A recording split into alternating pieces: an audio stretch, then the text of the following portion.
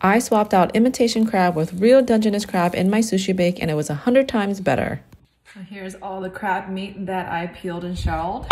Adding some green onions, avocado mayo, about two ounces of cream cheese, salt and pepper, garlic powder. Just gonna mix all this together. This is short grain sushi rice and I'm pouring in rice vinegar, a little sesame oil furikake. Mix it in real good. Flatten the rice. This is so much crab.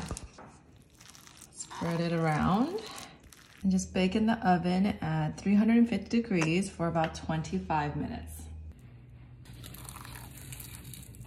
Mm. Babe, come try this.